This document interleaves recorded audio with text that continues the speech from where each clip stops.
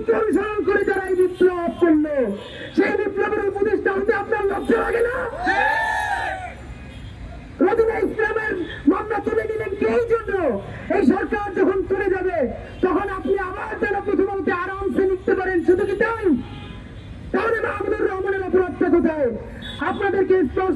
চাই, আমরা সবাই জানি ওনারা প্রত্যাশা করেছিলেন মাহমুদুর রহমান দুঃখ প্রকাশ করে ওনাদের কাছে সহযোগিতা চাইবেন। মাহমুদুর রহমান হলে বাংলাদেশের সব থেকে বড় ঘাট তারা মানুষ। আর সেই ঘাট তারা মানুষকে আমরা এমন ভাবে উদযাপন করি এইরকম একটা ঘাট তারা কারণে বাংলাদেশ স্বাধীন হয়ে যায়।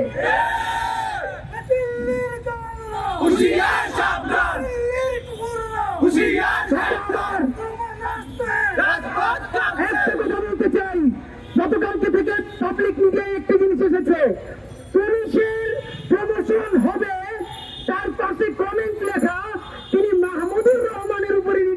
করে স্বীকারোক্তি দিয়েছেন। আপনারা দেখেছেন কিনা এটি ইতিমধ্যে ভাইরাল হয়েছে চারশোতে। নাম্বার দুই মাহমুদুর রহমানকে কুষ্টিয়ার আদালত প্রাঙ্গনে যেই সন্ত্রাসীরা প্রকাশ্য দিবালোকে হামলা করেছে রক্তাক্ত করেছে হত্যার উদ্দেশ্যে তাকে আক্রান্ত করেছে।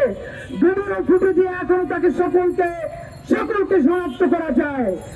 আমরা আলটিমেটাম দিচ্ছি এই কুষ্টিয়ার যেসব সন্ত্রাসীরা মাহমুদুর রহমানের হত্যা প্রতিষ্ঠায় লিপ্ত হয়েছিল, অতি সত্তর তাদেরকে গ্রেপ্তার করতে হবে। যে পুলিশ কর্মকর্তা মাহমুদুর রহমানের উপরে নির্যাতন চালিয়ে প্রমোশন পেয়েছেন চার্জশিটে লিখেছেন, অতি সত্তর তাকে গ্রেপ্তার করতে হবে। সর্বশেষ বলতে চাই, কোন আইন কানুন জানি না, আইন মেনে বিপ্লব হয় না। আইন বিপ্লব হয়। আসিফ নজরুল স্যার আপনি ইতিমধ্যে বিপ্লব বিরাট করার পথে আছেন।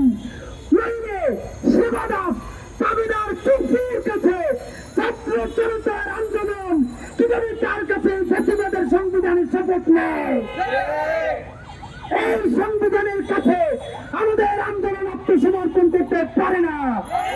সুতরাং সেই আন্দোলন মাহমুদুর করে আমরা করব।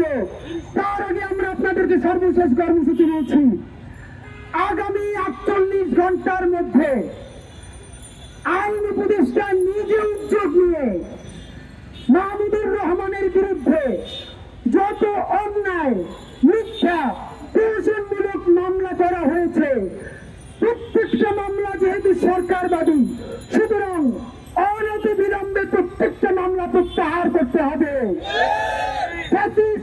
হাসিনার সকল রায় অনতি বিলম্বে ঘোষণা করতে হবে। আগামী আটচল্লিশ ঘণ্টার মধ্যে সরকার এই মাহমুদুর রহমানের মামলা নিয়ে কি করবেন? স্পষ্ট বিবৃতি দিয়ে যদি না জানায়, তাহলে আমরা আর রাজু ভাস্কর্যের দাঁড়াবো না। আইন উপদেষ্টার কার্যালয়ের সামনে দাঁড়াবো ইনশাল্লাহ হাফিজ হাফিজ নজরুল সরকার অন্তত বিব্রত। এই সরকার আপনারা পড়ে গেলে আপনাদের চিন্তা নাই। আমাদের জীবন বাজি রেখে যেই ভাইরা শহীদ হয়েছেন, আহত হয়েছেন, লক্ষ তরুণ রাজপথে নেমেছিল তাদের কারণে এই বিপ্লব বাঁচিয়ে রাখতে হবে। তাই আপনাদেরকে আমরা এখনও বিব্রত করতে চাই না। আপনাদেরকে জানাতে চাই, সংখ্যা দিয়ে মাহমুদুর রহমানকে মাপবেন না। এই যে কয়জন লোক আছে আপনার কার্যালয়ের সামনে দাঁড়াবো। মাহমুদুর রহমান মুক্ত না হলে আমরা ওখানে রক্তাক্ত হয়ে যাব। না